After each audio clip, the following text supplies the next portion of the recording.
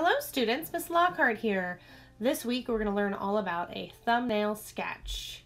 So we will be making four small little drawings and then choosing our favorite one. That favorite one you will color and outline.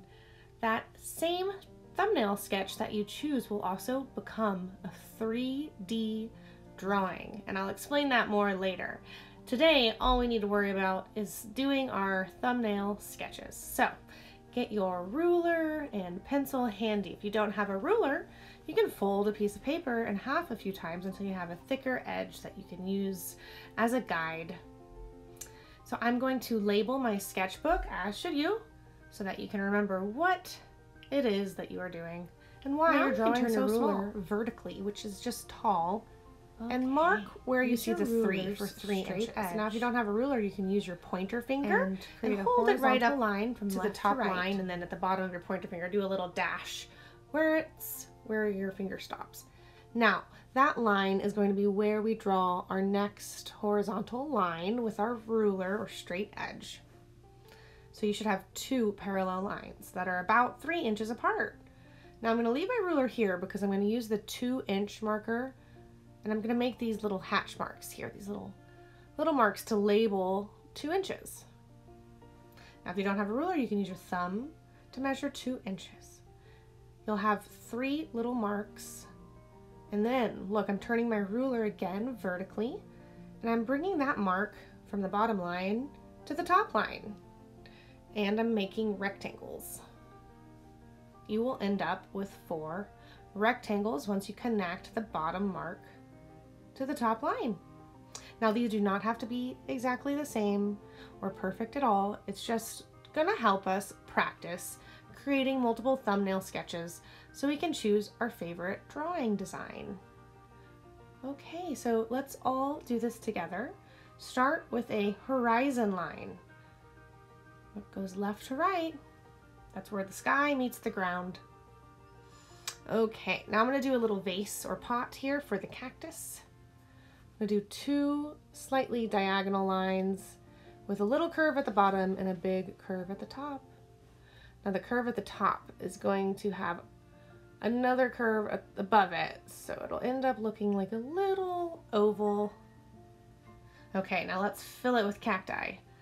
So I'm gonna start by making a really big oval and the top is a little bit wider than the bottom.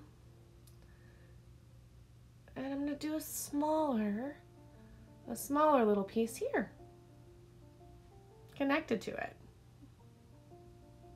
Here's another oval. It's almost like a teardrop shape.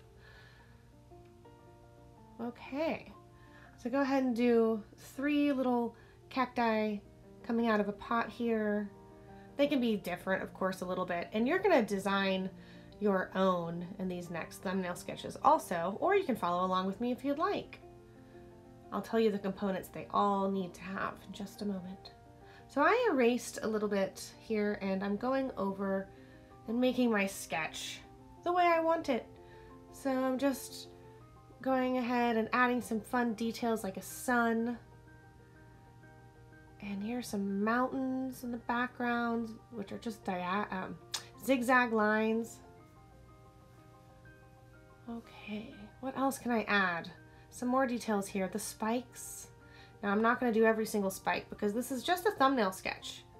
And it is not the final drawing or sculpture. now I'm going to add some fun flower buds here at the top. You can draw any kind of flower you'd like up there.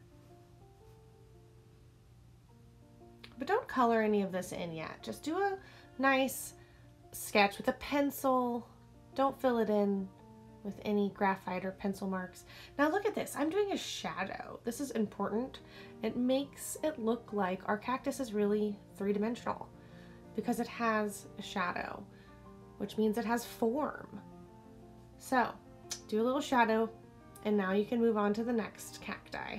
This cacti is a little different, isn't it? It's in the foreground, which means it's gonna be really big and it's gonna take up a lot of space. So go ahead and do a cactus in the foreground. It can have a different design, but have it come from the bottom of the page. Do you see how I did that? So go ahead and design your cactus how you would like. And this background is going to have a different kind of sun that's setting. Now the idea is we want to have a variety or a lot of different drawings we can choose from. So we're trying to think how we can change each drawing and make it look unique. And you'll start to learn all kinds of new things you can do. The more the more you make these thumbnail drawings, the more inspiration and creativity you will find. So I'm gonna add little clouds at the top. And what else can I add? Another cactus in the foreground, which means it's coming from the very bottom of the page and going up. Now we need to erase where the horizon line went through the cactus because you wouldn't really see that horizon line because the cactus is in front. So now I'm going to add the spikes, some fun details, but remember, you don't need to add all the details. Now here's a fun way to make your cactus look more three-dimensional, like it has form. You want to do a line down the middle and then like a C on the left of that line and a D on the other. Watch watch how I do this. Line down the middle and then the C and then the D, line C, D. It's just a curve on the left and a curve on the right and then a line down the middle and remember, you can pause this anytime you want. Okay, so let's do another fun design here. I'm gonna do another fun pot that the cactus is in, like a terracotta pot maybe. So it's two lines on the left and right connect with a curve, just like we did before. Now this is gonna have a really big bulb, so it's more of like a round shape. And I'm gonna go ahead and do the little flower here. It's a little different from the others. Line down the middle, and then a C, and then a D line, curved lines. Now look, you can see how it really has form now, doesn't it? And that cactus bulb looks like it has more texture. Okay. So let's do the horizon line, can't forget. And what am I gonna, a window. Let's put a window in the background. Or so, think of something different. Like if this cactus was inside your home or in your bedroom, what would you see out of your window? Or what would be on your desk? So you can see I did some zigzags for mountains and then this could be a rainbow or a sunset in the background, depending on what colors I choose. What else can I draw? So here's the horizon line for the, the outside.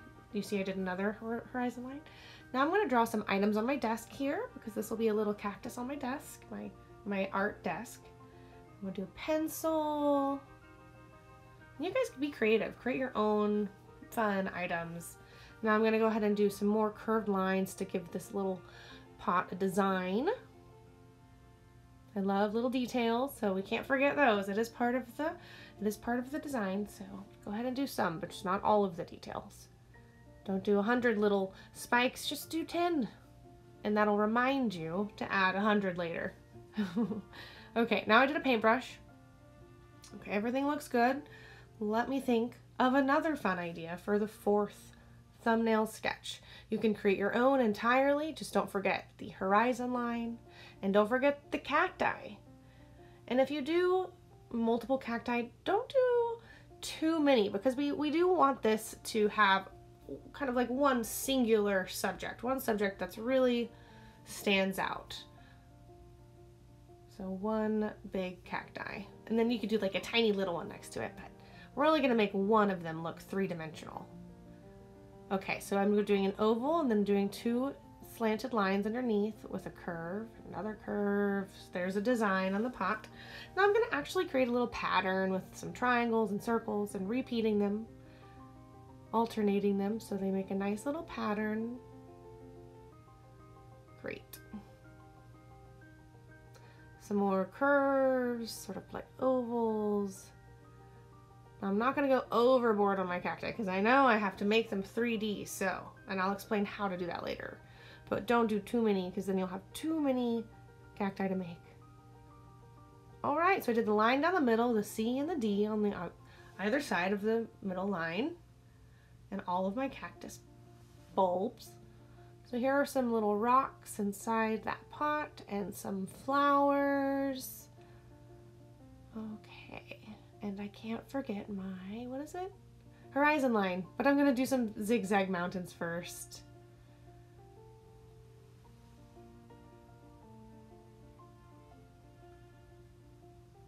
Okay, I cannot wait to see your thumbnail sketches. Okay, here's that horizon line. Now I need a shadow. I've forgotten shadow in a few of these. And a little sun, or maybe it's a moon. Oh, it's a sun. Sun rays. Now here is the shadow. If the sun is on the left, the shadow needs to be on the right, and then vice versa. That's because the light hits the shadow on the left and doesn't hit it on the right and creates that shadow from the shape of the cactus. Okay, guys, well, I'm gonna add details and take a look and see if there's anything else I would like to add in my thumbnail sketches. Remember, you're gonna choose one and you're gonna color it today. And then next time, it's gonna be really fun because I'm gonna show you how to make it look 3D on a bigger piece of paper. So you'll see I have sped up the video a little bit here to color. And I have chosen my favorite layout. It's this thumbnail sketch, the third one over. And I don't know what thumbnail sketch you're gonna choose, but choose one and color it in. Make sure you have at least one cactus, a shadow, a horizon line, and then something in the background, something in the foreground, which means on the ground or on the tabletop. So I did a shadow in the foreground um, here in this one that I'm coloring. I did a mountain in the background with a sun. Then you can see in each of my thumbnail sketches, I've got the subject, which is the cactus, and then I've got something in the background, and then I also have something in the foreground in each of these thumbnail sketches. So go ahead and make sure you complete those, color in your favorite. Now if you feel like it, you can outline it with a black marker. You do not have to, or a black pen, your drawing. It looks really nice when you outline it. Um, you may even color the rest of your thumbnail sketches if you really like them, but you don't have to. Just color one. That's all I need you to do. Okay. Well, you can take a look at what we'll be doing next week. I've included a picture, um, but it isn't very important that you finish your thumbnail sketch first so you know what your design will be for the next step. Okay, well thanks for watching and coloring and following all the steps. I appreciate you guys so much and all your hard work and creativity. Thanks for watching and go ahead and submit your finished thumbnail sketch after you color it to me in Schoology. Thanks everybody. Talk soon. I almost forgot. If you really like thumbnail sketches, you can try to draw one the size of your thumbnail or a little bigger if you need. Just like I did here. Take a look. It's very small. Thanks everybody. Talk to you soon.